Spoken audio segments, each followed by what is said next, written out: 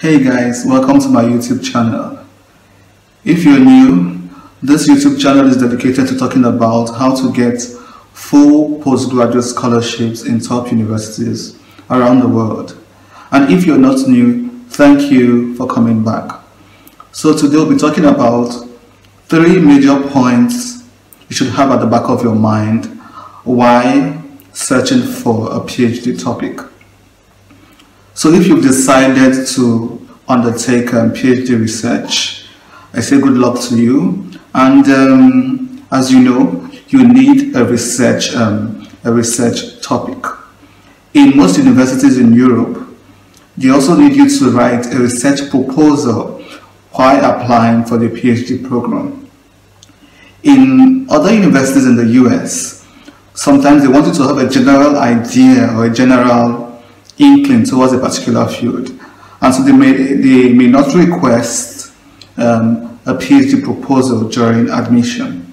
So it's good to check with the university you intend to apply to and there are particular requirements when it comes to um, the application process. But still, whether you're applying to universities in the US, in Europe, in Canada, or in Australia, you still need to eventually have a research um, topic, whether while you're applying or later in the process when you're already in the when you've already begun the PhD program. So today I'll be talking about key um, tips you need to have at the back of your mind while thinking of a research topic. So tip number one, you should understand the concept of original contribution to knowledge. So whatever topic you're going to be coming up with, it has to be an original contribution to that particular field you wish to specialize in. And this um, term original contribution to knowledge or this um, phrase is um, it could be confusing at times because it's almost impossible to find a field of knowledge where there are no existing literature, existing research. So, so your university is aware of this, your supervisor, your proposed supervisor is aware of this. So what they actually want you to do, or what they actually mean by original contribution to knowledge, is that whatever field you choose to specialize in, you have to make a contribution to the existing debates, to the existing um, analysis, to the existing research. So whatever you come up with will be a contribution to what is already on ground. They are not necessarily expecting you to bring up a totally new field of knowledge that no one has heard about. I think at this stage it's almost impossible to come up with a topic that nobody has remotely spoken about in their research. So that's what they mean by original contribution to knowledge. And I, I want to add to this um, concept of, or this term of original contribution to knowledge.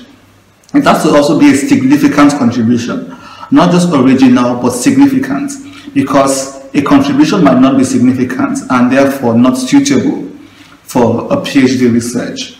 So how do you know whether something is significant or not significant? So permit me to use the example of, um, of a house party. For instance, I was invited to a house party and with several other people. And the guest decided to, the, the host I mean, decided to pass a number of lists around. And um, the guests, including me, we need to bring um, some things for entertainment during the party.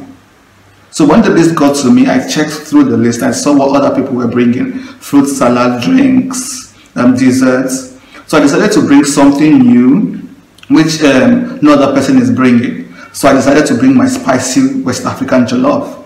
And I told the host about this, and was like, "Here, this is a significant and original contribution to the party." So imagine if I decided to bring chocolate, for instance and the host says, oh no, we have somebody bringing chocolates already, or somebody's already bringing chocolate cake. So you might want to bring something else. Or I might decide to bring a bar of soap, and the, the host might say, no, we don't really need the bar of soap here, we need something edible. And um, so why this is an original contribution, it is not significant.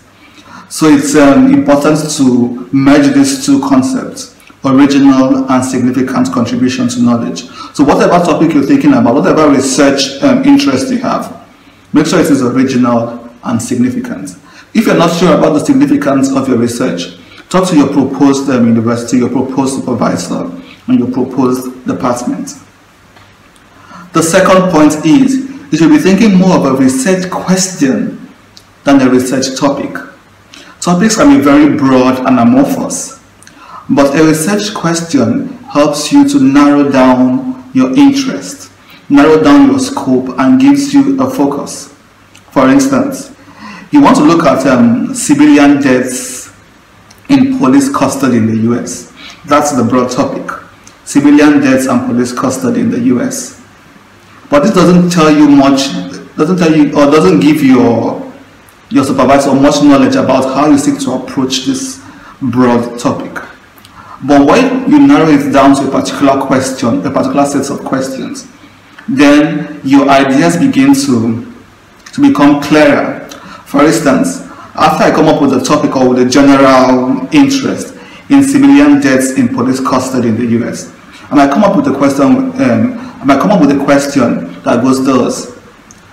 Why are more civilian deaths recorded in the US than any other developed democracies um, in the world? Or better put, why are there more civilian deaths in police custody in the US than any other developed democracy in the world?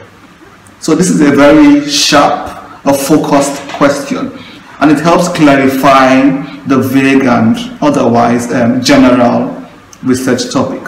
So when you're thinking about a topic, think about a corresponding question. Or you might even begin by thinking about a question instead of a topic. Because find, finding a topic is not so much of the problem here. In fact, your question can actually be your topic as well.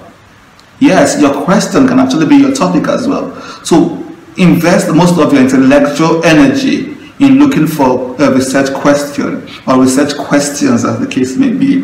And this will help you focus your interest and um, clarify your ideas. The third point I would like to point out is um, the importance of data or evidence to back up your research. And even though you've not started yet, even though you are still discerning what to research on, make sure that whatever topic you pick or whatever research question you pick, there is um, data out there to back up your research or there's evidence out there. Because what's the point in picking a research topic or a research question where um, the data is inaccessible. There are certain um, research topics you might pick and the data you need are in classified um, database and you, you cannot get access to it. For instance, they're in the government top secret um, database or they are in very sensitive um, very sensitive areas where it's difficult to actually get data. For instance, you're researching something about terrorism, about drug cartels, about human trafficking. It is true that there are a number of research in these fields already, but there are certain hurdles you have to you have to climb in order to get data. So start thinking about how doable your research is, especially as regards getting the vital information you need to carry out this research. So look at look at the the, the ethical um, the ethical the ethical problems that, that may arise, the accessibility to this data, and the doability, the general doability of this of this um, topic or of this research question you've chosen. Because again, what's the point if after coming up with a beautiful topic, a beautiful question, you cannot access the data? Um, a few months ago, you must have heard of the of the English researcher who went to the Middle East to gather data about, I think, security-related um, issues and was arrested for espionage and he languished several months in um, a jail in the Middle East because they, they thought he was a spy. So it took several interventions by the British government to, for him to regain his freedom. So these are some of the things you have to think about while thinking of a research um, question and um, a research um, topic. That is the data available. How can I get the data? When can I get the data? You just want to make sure that the data wouldn't be the problem because after all, this is the meat of your research. So that's it, guys. These are the three things, three major factors you should think about why searching for or clarifying what um, research you wish to undertake for your PhD. So the first one, remember that it has to be a significant and original contribution to your um, field of study The, the second one, a very clear research question or sets of research questions. Then the third one, start thinking now about the availability of data because this determines the doability of the research in the first place.